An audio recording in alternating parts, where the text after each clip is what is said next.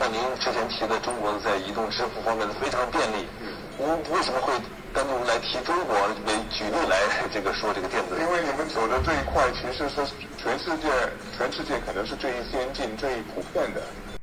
So he's saying that Singapore is outdated and whatever school that Singaporeans should study is thriving are silly? Then why are there so many students committing suicides every year just for studies and striving hard?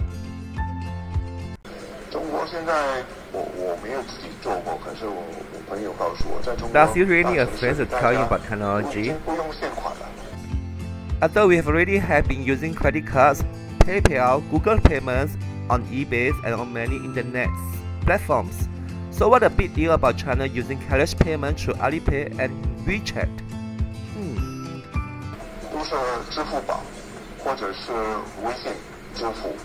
China has gone the furthest with e-payments.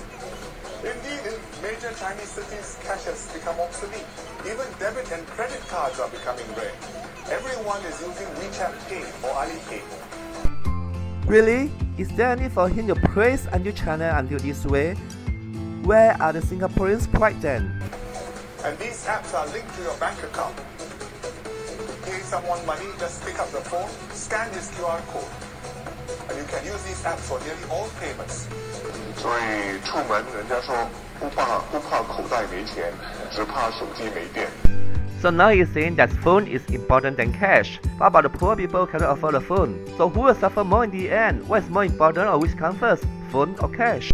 Who benefits the most will be the telecommunications companies.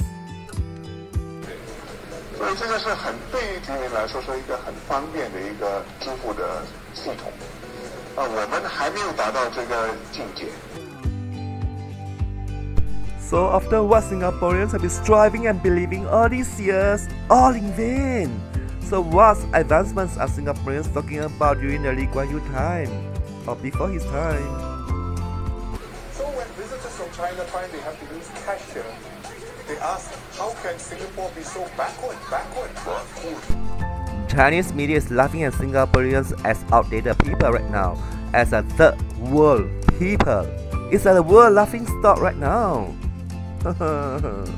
我们还在努力做，但是我们看到中国能够这样做的，我应该，我想激励新加坡人。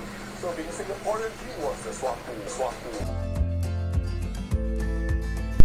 so what's a world-class education or world-class systems that Singaporeans are talking about? All these years, Singapore is being known as a country of advancement, but now it has suddenly become a third world country. Ironic, right? 中国能够这么做，我们应该学习他们，借鉴他们的经验。 Singapore used to teach China and train China, and now China turned back to train and teach Singapore back. What nonsense are we facing? Selling bananas? 我们也应该可以做得到。 其实，在新加坡，呃，支付宝也有一些商家提供这个服务了，呃，包括一些计程车，如果你上德士的话，你可以用支付宝去支付。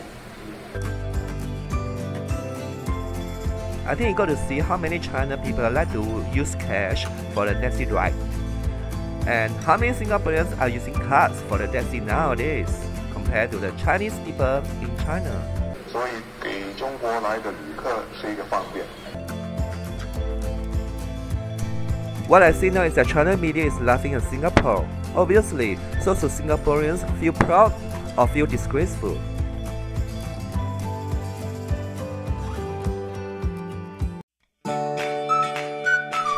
Remember to watch this video and do remember to subscribe.